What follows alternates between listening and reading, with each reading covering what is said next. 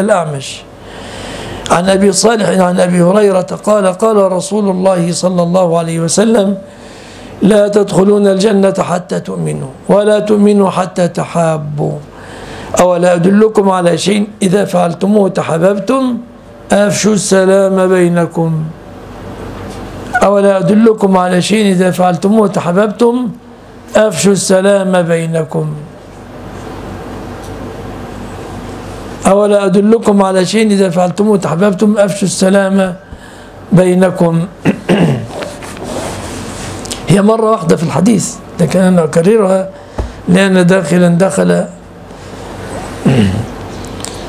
وهل يفشي السلام الداخل على مجلس العلم أو لا يفشي؟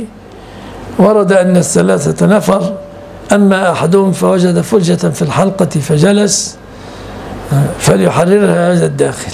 هل سلم أم لم يسلم؟ المهم لا لا تؤمنوا حتى تحابوا. أي لا يكمل إيمانكم حتى تتحابب تتحاببوا فيما بينكم. لا تؤمنوا حتى تحابوا. أولا أدلكم على شيء إذا فعلتموه تحاببتم؟ أفشوا السلام بينكم. وحدثني زهير بن حرب فذكر بسنده والذي نفسي بيده لا تدخلون الجنة حتى تؤمنوا.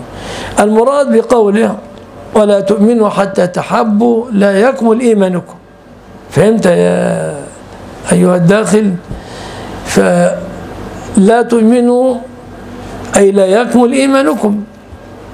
لا تؤمنوا أي لا يكمل إيمانكم. كما تقدم في حديث لا يؤمن أحدكم حتى يحب لأخيه ما يحب لنفسه. أي لا يكمل إيمانه.